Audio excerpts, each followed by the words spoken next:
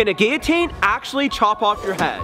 Oh my god! You almost took my head off! First, we're gonna try this hot dog and work our way up to an actual head. In three, two, one!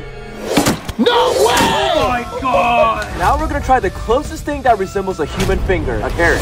Holy moly! So it is able to chop off a finger, but can it chop off a head? Now before we do an actual head, we're gonna try a watermelon head. What the hell?